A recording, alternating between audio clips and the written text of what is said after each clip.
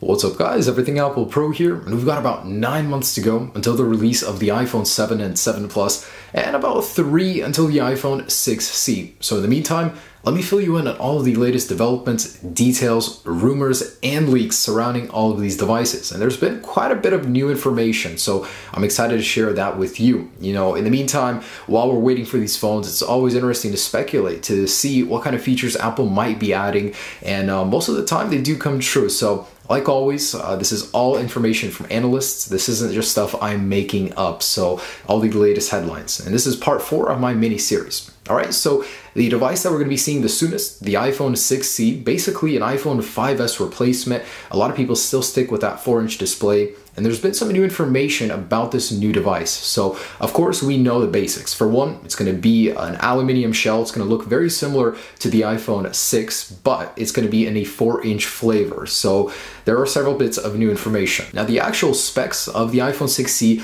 are becoming clearer the uh, closer we move to the release. So, a new report says the battery is going to feature 1642 mAh. Now, that in comparison to the iPhone 5S battery, which was uh, 1560 mAh, is almost 100 mAh higher in pretty much the same form factor. So, that means it could possibly be one of the best battery life performing devices Apple will be selling. And it'll be awesome. You know, the pixels on the display won't be as high as the iPhone 6. It won't have as much demand for a huge amount of battery, but still, it'll have very good battery life. It's also rumored to feature 2 gigabytes of RAM, so something that's exclusive to the iPhone 6s and 6s Plus right now could trickle down to a smaller device, which I think is great. Now, it won't get the processor of the iPhone 7 and 7 Plus, but it will get an A8 or A9 chip a8 is rumored to be most likely. There's a word about both happening, but the A8, since it is slightly a budget phone, is uh, more likely to be. A8 and 2 gigabytes of RAM still. With a smaller display like that, you don't really need too much and it'll handle almost everything you can throw at it. And some smaller details, it's going to feature 16 gigabytes of base storage. So that's something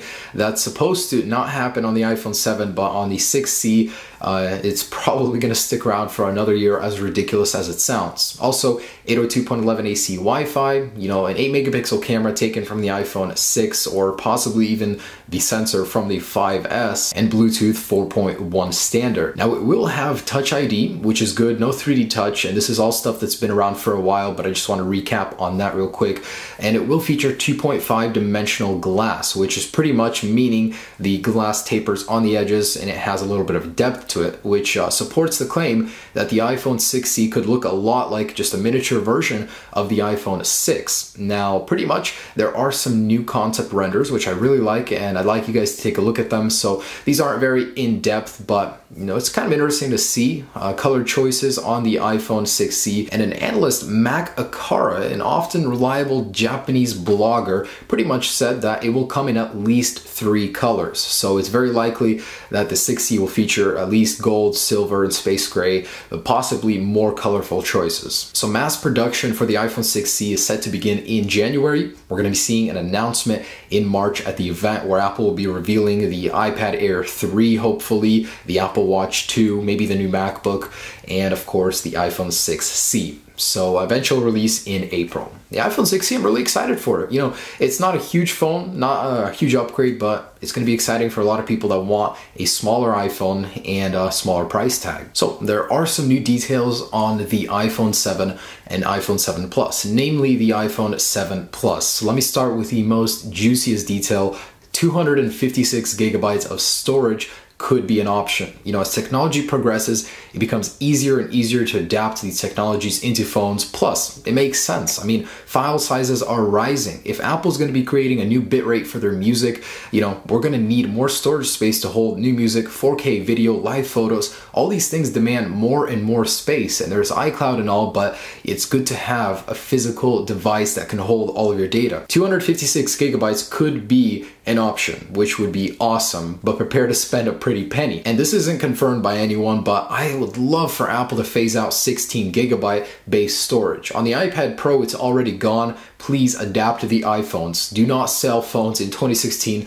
with 16 gigabytes of base storage. So next, the battery on the iPhone 7 Plus details have emerged that suggest a 3100 mAh battery is likely on that larger iPhone, which is pretty much 12.7% bigger than the current iPhone 6s Plus battery, which is at 2750 mAh. So I think that'll be great. It'll definitely be accepted well to have a bigger battery instead of shrinking it like the iPhone 6s Plus did. You know, I don't have any problems with battery life, but who doesn't want an extra little bit of juice? Now, how this will actually reflect, will it give you more battery life? Will it be the same or less? We don't know yet, but bigger battery is always welcome. And a couple of older details that I never really covered, but I did want to add. So Ming Chi Kuo, the most famous analyst, uh, that one that's about 80 to 90% accurate most of the time, he's actually said in the past that the iPhone 7 and 7 Plus will likely be the iPod Touch 5th and 6th generation size. So that's about 6 to 6.5 millimeters. It'll still be strong. With the iPhone 6s, Apple has shown us that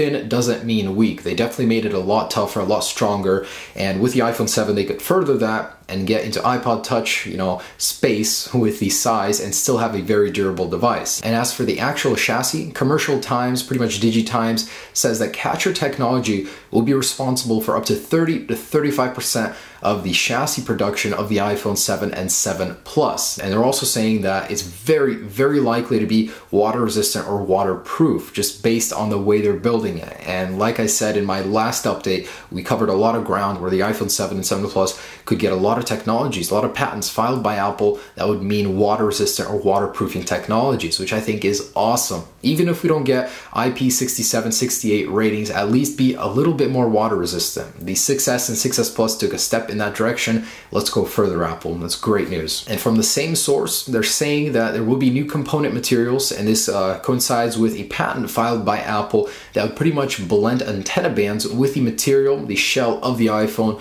making for a more uniform, pretty device, pretty much. So I think that's awesome too. Who doesn't want a more beautiful device? And lastly, uh, Ming Chi Kuo did also report a while ago actually about an Intel chip that Apple will be adopting for the iPhone 7 and 7 Plus. It would allow for 450 megabit download speed per second and up to 29 LTE bands. Currently, we have 300 max capacity and uh, 23 LTE bands on the iPhone 6s and 6s Plus. So an evolution in uh, the LTE chip would be awesome as well. But pretty much that's it, guys. The iPhone 7, 7 Plus really, really shaping up to be really powerful devices, beautiful. It's going to be a complete redesign, and I'm so excited to see what Apple has got up their sleeves. Now, the iPhone 6C, we're going to be seeing very soon. I'll make sure to cover everything there is to know about it. I know a lot of people are interested in these devices, so really excited for that.